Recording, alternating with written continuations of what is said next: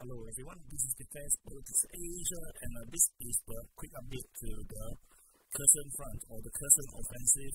Um, a ma- major incident happened uh, yesterday uh, uh because the Ukrainians launched a rather major attack, and uh, a lot of things have happened, a lot of details coming from the pro-Russian side, and in fact, all the information is coming from the pro-Russian side. So if you are uh, the, the type of pro-Ukrainian uh, crowd that don't believe anything uh, the pro-Russian side say, you know, be it by the, the Ministry of Defense of Russia, uh, then nothing happens, you know, you can don't watch. But if you are the type of uh, masochist, you know, the kind of people that uh, like to, you know, torture yourself and uh, you like to have uh, emotional damage, uh, you know, you savor that feeling, you know, then uh, you can continue to watch uh, on. So uh, the Ukrainian forces are reportedly from uh, Nova Kalinka, and uh, Novohrivka region. Uh, they launched a major offensive uh, yesterday uh, towards this line, the Bichani, Mylove, and uh, perhaps even know, in this direction. So the Ukrainians launched a major offensive across these entire fronts. Uh, and uh, based on the riders mapping, they show them uh, drawing an arrow towards Sukhanove and uh, towards this line here, and uh, towards probably also towards uh, Bichani because uh, Actually, the Ukrainian forces only hold the northern half of the line, whereas the, the Russians actually hold the lower half uh, of this uh, town because there is a river that crosses across it, and uh, there is fighting reported uh, over here. So the Russians are holding this position, and uh, they are holding uh, this position, but there's actually no town around here, and of course, Sukhanoville. So based on the based on all the information that we have seen over the past uh, one or two weeks, um, it's quite clear that uh, Sablukivka and uh, Karashki, uh, Kaskarinska is actually not under Ukrainian control. And in fact, uh, even Ryba have uh, adjusted the mapping to this line, which I have reported, you know, the day after, you know, one day after, you know, I that uh, based on initial reports, the Ukrainians have reached uh, Mylove. But however, uh, the next day I already corrected that the line seems to be here because based on the Russian Ministry of Defense and, uh, and other Russian sources, uh, the line, the, the Russian line that the Chinese seems to have held. So, uh, and uh, eventually Ryba seems to also have changed the mapping to reflect this.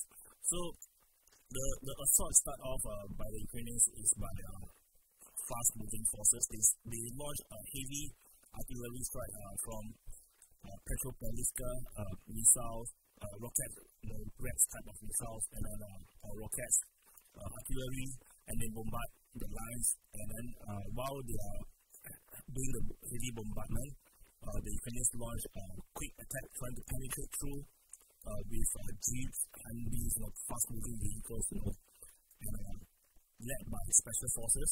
This is what they're trying to do. Um, to penetrate through the Russian lines while you know, they, they are um, uh, hiding from the artillery strikes. Uh, however, um, the the Russians seems to know they are coming and uh, they actually know uh, took out you know, the initial vanguard forces where the uh, where it was doing the penetration and reportedly according to the pro-Russian sources there is a lot of losses from the from this initial vanguards. So this fast-moving force is followed by mechanized and armor, and uh, they are all you know, moving. Uh, they are all operating. Oh, so wrong button. Sorry. They are moving uh, around you this region. They are moving in, and uh, while so the then the Russians actually use artillery to try to knock them down, and uh, but the Ukrainians have a lot of uh, air. So what is interesting is that the Russians actually launched uh, drone strikes uh, and uh, this location is called uh, Murativka. So Murativka, and then uh, this, and. This is uh, Zeleny, uh, Zeleny Hai, and uh, this location is called uh, Novoredzeve. So uh, the these three locations are where the Ukrainians uh, surface missile uh, are located and they got picked, took out by Russian drone strikes.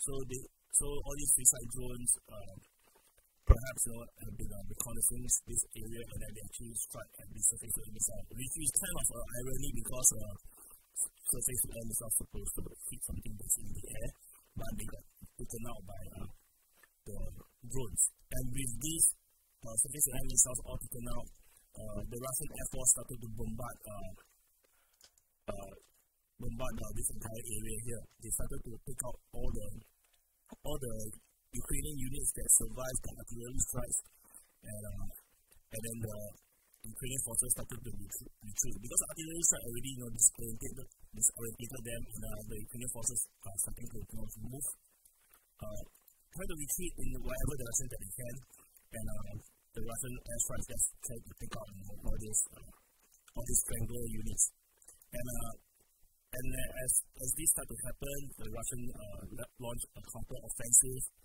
uh, as they clear out all uh, they clear out all this uh, all this area uh, with infantry, they start to sweep through all the forest line, and then they actually launch a counter offensive uh, towards Nova Kalinka. So this is what happens uh, well, while the Ukrainians are withdrawing. So uh, pretty dramatic. So at the end of the day, this is actually what has happened. Uh, the Ukrainians launched a major offensive, but it didn't seem to work out, and and uh, actually launched a counter offensive. However, uh, there is no indication that the Russians captured Nova Kalinka just yet, even though there's a counter offensive towards this this this location. And uh, on the in the afternoon report. Uh, by the Russian Defense Ministry, they also reported, um, probably from the day before, that the Ukrainians actually launched uh, on um, Sadok and um, Ischenka. So these two locations as well as on uh, Lutany direction. So this, uh, however, no, nothing seems to be uh, being reported about the fall of Sadok or the Ischenka, which means that the attack is not worked out. So the Russians not just launched a counter-offensive over Nova Kalinka, they also actually launched a counter-offensive uh, towards Suki Stavok. They are uh, attacking towards Suki Stavok, and um, while that is also happening, uh, they taken, uh, the Russians seem to have taken out five different pontoon crossings uh, across the entire Inhulets River. So, not exactly sure where are the, you know, the locations, but you know, five of these uh, crossings, probably one more at the north of Teglis has been taken out uh, to deny the Ukrainians the ability to actually, you know, send reinforcements through the English grid, uh, or, you know, through all these crossings uh, to put more pressure towards uh, Kostromka region. Because uh, the Ukrainians have been trying to, you know, attack uh, through, towards Kostromka, but uh, maybe, you know, uh, the Russians just, you know, don't want to entertain them anymore, so they took out all the bundle crossings. So these potential crossings uh, is no longer workable, and then uh, this will actually reduce the number of attacks coming from Belehrka and then delivery uh, towards uh, Pustinsky and Kostromka. So, uh, this is the situation now uh, in the Kherson front and the Kherson offensive from the Ukrainians are still ongoing. You might see this, uh, if, I believe that you, if you are watching this still at this point, uh, you most likely are pro-Russian. Uh, this does not mean the Ukrainian Kherson offensive has failed. This is just yet another day of fighting. Kherson offensive is still ongoing. This is just another attempt, just like the Russians uh, over at the uh, Bakhmut front. They just keep trying and keep trying. So, know, it's, it's just an ongoing kind of thing. So, you know, don't take this as a victory. It's not a victory. Uh, it's just simply a successful defense. And this is what the Ukrainians are also extremely good at. So anyway, this is the quick update uh, you know, from the um, Kherson front, and uh, I can also show you some of those uh, some of the sources.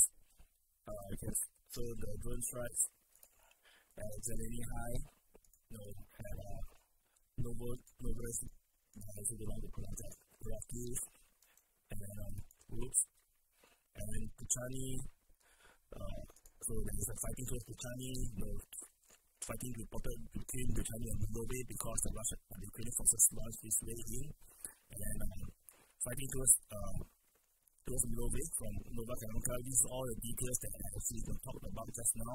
I didn't talk about the losses. Uh, if you really want to know the losses, uh, the, the attack is launched by 60 infantry with armored vehicles, and um, eventual losses you know, seems to be uh, it's not reported here. There's uh, they say that there's 30 tanks, you and uh, they're not clearing the forest. If you don't have any other information, yeah, just like that. So anyway, yeah. So yeah, this is the you know the sources. If you do not, if you are new to this channel, uh, every single information that I've described is uh, all mentioned uh, with sources, and um, so you know including you see the the, the Russian attack attack aircraft, you know, work on the transport equipment, and you know, and, and also the initial position of the Ukrainian forces where they, launched attack from. So uh, everything is sourced. The link to this map uh, is in the description below. Uh, if you lazy to see, it's defensepoliticsasia.com slash Ukraine. So anyway, uh, this is the quick update coming from the Kherson Files, and uh, I will see you in the next